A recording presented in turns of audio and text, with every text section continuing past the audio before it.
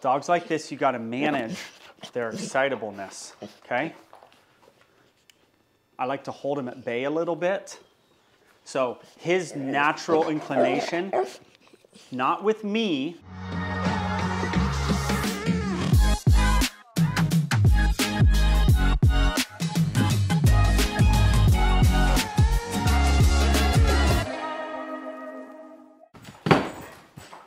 All right, this is Cooper. This is Cooper.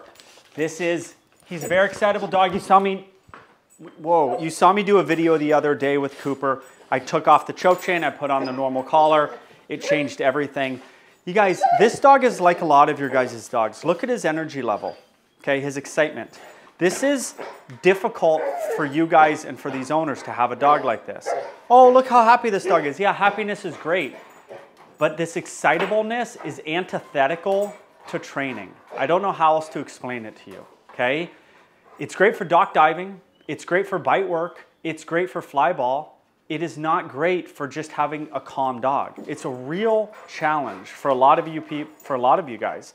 And you got to learn how to deal with this. Okay? And I'm going to show you right now. We have a dog. He when he sees dogs, he loses his mind. Okay? we have a dog set up right here that he has never seen. The dog just got here. He's in the pool area. So he's gonna meet this dog and he can't pull to this dog. This would be a situation like where, you're, where he's meeting a dog, you're on a walk and there's a dog behind a fence. Also, another dog just got here, getting here right now. So we're gonna go, we're gonna have that dog on a walk and he's gonna pass a dog, all right? And you've seen this dog's energy level.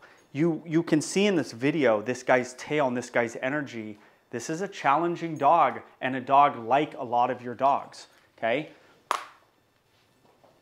Take the choke chain off. Remember why this is bad? Because it goes click, click, click, click. Then they hit it, hit the end of this, okay? All right, normal collar, remember, change it up. If he's on a choke chain, change it to a regular collar. If he's on a regular collar, change it to a gentle leader. If the gentle leader isn't working, change to a front clip harness. Change the stimulus do something different in life. If you guys keep, if you keep doing the same thing over and over in life, the same thing with your kids over and over and over, it's not working. It's time to switch it up. It's not working. The, the, the, that's not working. They, they learn to fight against it. Your kids learn the tone you do every time, and then that tone becomes this, this annoying sound to them, or that they don't even hear it. You got to change things. Okay. Oh, you're being a calm boy now. He didn't eat treats last time, if you remember that. Come on. Get to your door. Do a sit. Good boy. Give good boys. Don't give a lot of pets. Oh my gosh, you're so good. Look what petting does. He didn't get up, but they get excited. You don't want excitableness. You want chillness. Oh my gosh, you're the best dog in the world. You're the best dog in the world.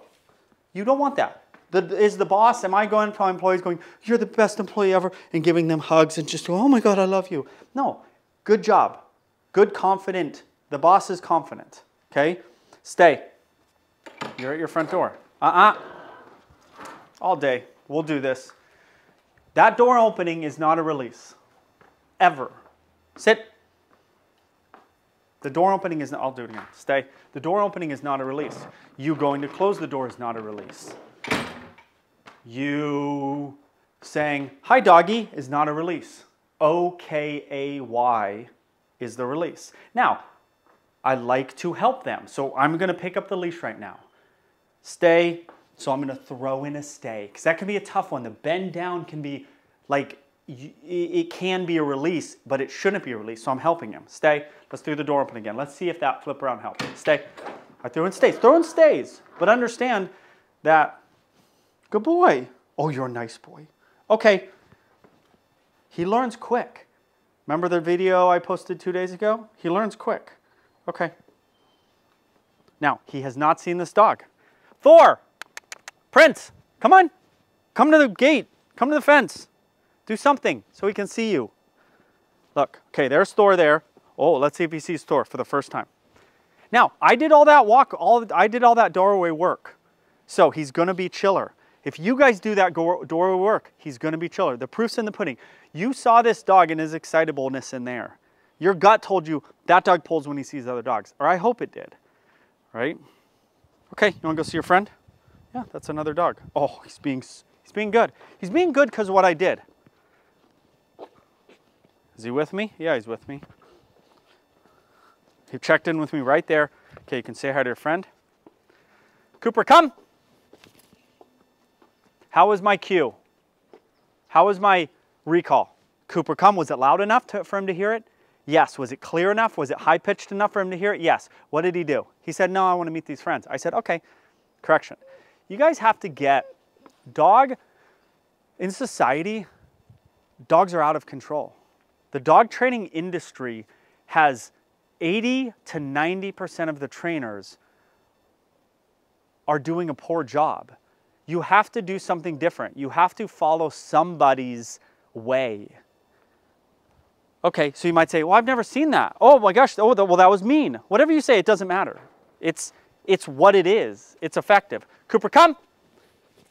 He started to come. Still got low correction. Wasn't quick enough. Now third one. Okay.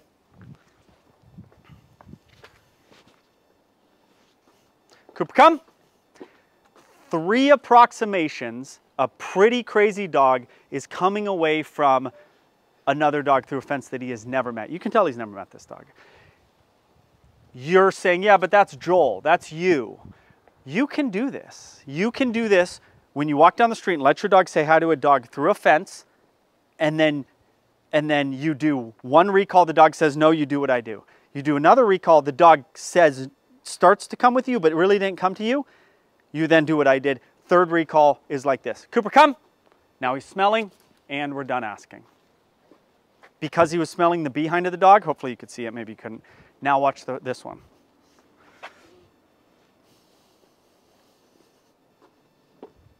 And he comes away even without a recall, just following the boss. All right, it's time to get, sit, time to get serious, okay? I'm not a magician. I'm not asking multiple times. He knows sit. I don't care that there is a dog there that he has not met and he doesn't feel like sitting. This dog loses his mind in many ways when he sees dogs and when he sees people and he just goes, Ugh, and he loses his mind. Those days are over. I said that in the video the other day. I'll post that video up in the, what is it, in the left-hand corner of the screen, I think. Let me think about this. You'll see it, okay? I'll post it right now. That video from the other day with this guy, his first training session. Okay, go see your friend. Thor! Thor! Dude, come here. Thor. Thor, come here.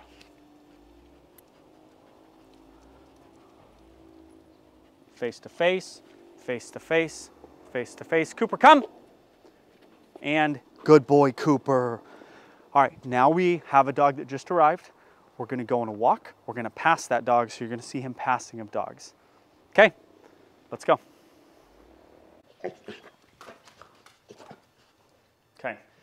With dogs like this, you got to manage their excitableness, okay? I like to hold him at bay a little bit. So his natural inclination, not with me necessarily. If this was a brand new person or the owners, he's right here, he's in their face, he's probably hitting their face, he's pushing them over, not with me because I'm the boss. But you see that mouth on my hand? You can actually feel his whole energy, like, like his muscles and everything. He's just like all excitable. Okay, so we're about to go on that walk. We're gonna see that dog that he has never met before on a walk, on a normal collar. No treats, no e-collars, no prong collars.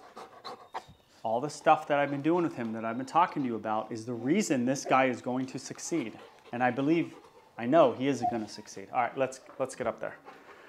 We've got a dog set up up here that he has not met yet. We're gonna start walking. I've let him be in front of me the whole way out here so that he is not perfect. Your dog being in front of you, if your dog does not have leash reactivity or isn't crazy when they see other dogs is not the worst thing in the world. When I go on these walks to show you guys, I'm like, keep the dog here because, no, you're good, because you're about to, you're gonna see a dog later and if they're up here, how are you gonna get them? Oh, when you see a dog is when you're gonna start to go, okay, let me get control. No, no, you gotta get control early. So that's why I'm all hardcore early in the walk. It's because you're about to see a dog. So this is actually, look, oh, look at this, look at this, look at this. we're over this.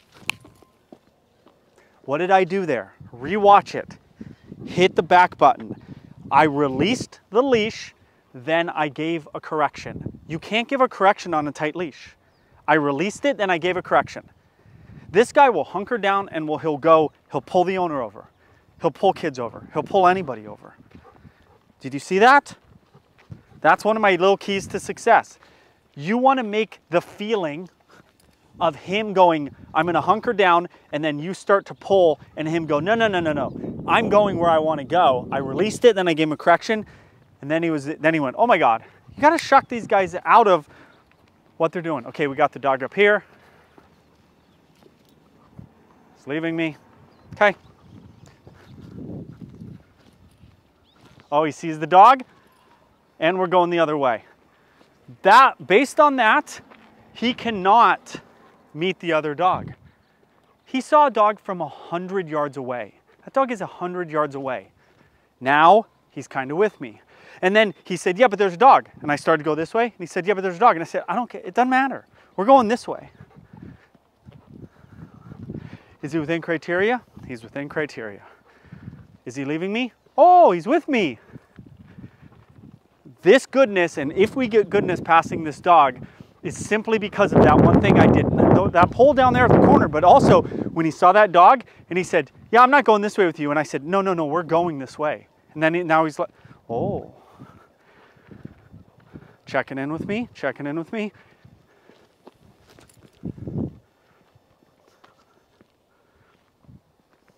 Okay.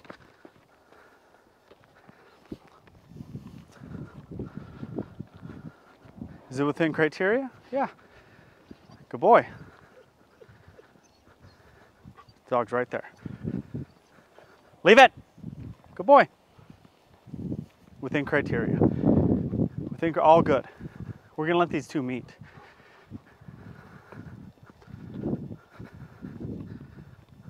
Come on. Oh my gosh, Joel, he seems scared or some people say that.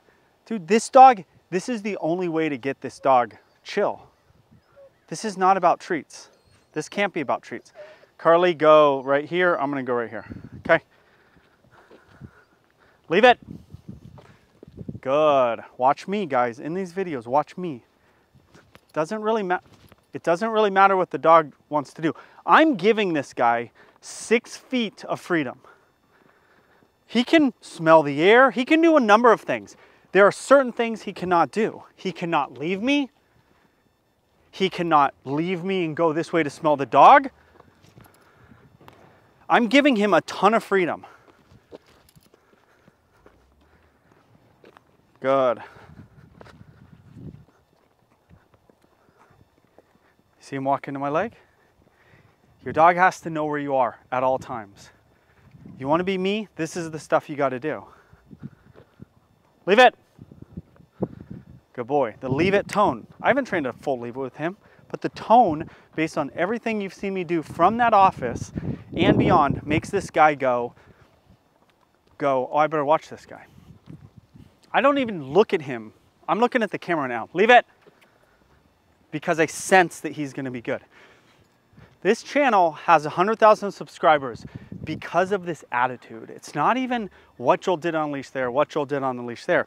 It's based on an attitude that you can learn. And I'm not gonna, I don't do like Cesar Milano, like it's just energy, it's just, a, I'm telling you what I do and how I do it, but you have to have the attitude. Okay, let's let him meet.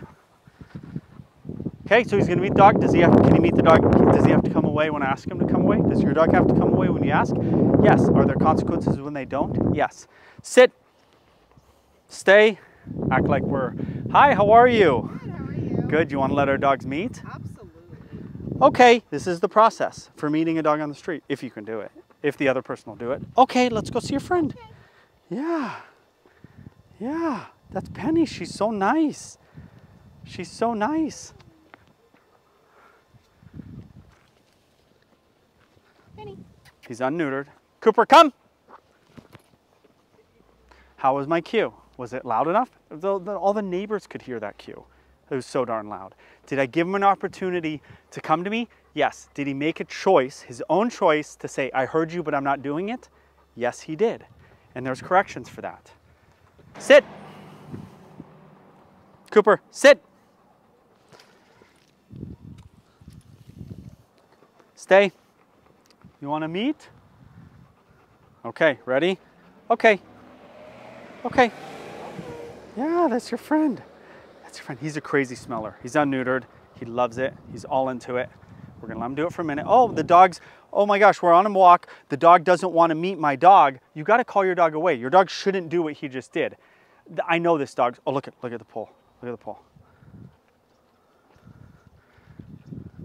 Cooper, come. What a good boy, Cooper. He's an energetic, smart dog. A lot of your dogs are energetic and smart. My recall from smelling her a while ago, or yeah, two minutes ago was the reason he just came away from a female dog when he was in the middle of smelling was because that correction before that. Hi, Cooper. Hi there. Oh, he's the best boy ever. Hi. Cooper, come. Good boy. Good boy, Cooper. All right, guys. It's hard for me to kind of explain how important doing it like I just did it is with a dog like this. You can't take half measures. You can't go, yeah, I'll do that, but I won't do that. It all works together.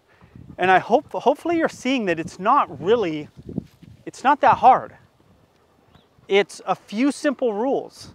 It's I mean what I say, and there's a consequence when you don't do it. I'm also very clear. It's about clarity. How, how were my leave it cues? Were they loud enough for him to hear? Yes. How was my Cooper come? Was it loud enough for him to hear? Good boy. Yes. How did I set him up for success by doing all that stuff in the office so that then when we see this dog, he's not out of his mind? Yes, I did all that. I set this guy up for success and then I expected him to be listening. Okay, that's it. Like, subscribe, and comment.